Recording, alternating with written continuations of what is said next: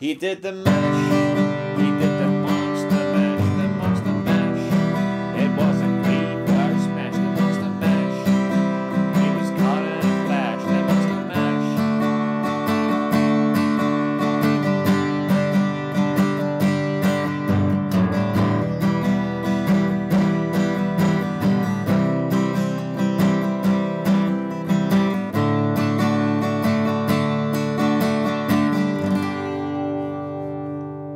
Alright, okay, we've got a cool lesson today. We've got the Monster Mash. Since it's coming up for Halloween, what better song to learn than the Monster Mash?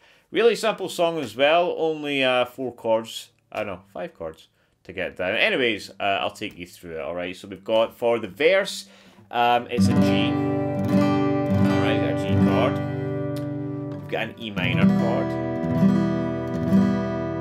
We've got an A minor chord. And then we've got a D chord. Alright.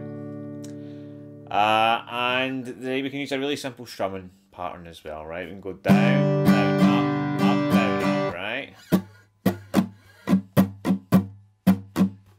Twice in each chord.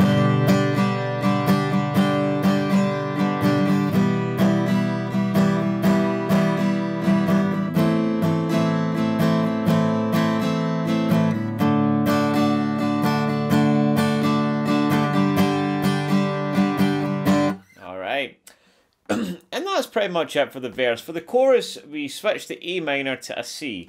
It was a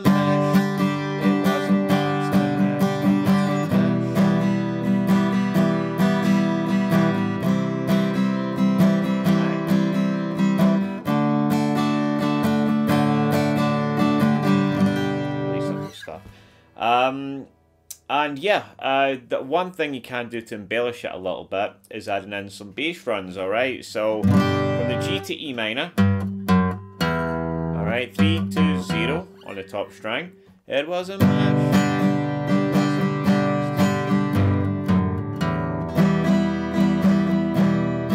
Then yeah, C, 0, 2, 3.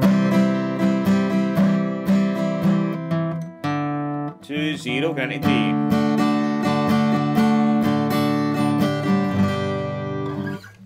But that's only if you want to. You don't really need to embellish it. But if you want to add a little flair, then you can. Uh, the only other part is the, the bridge, and that's uh, just a C and a D, a C and a D.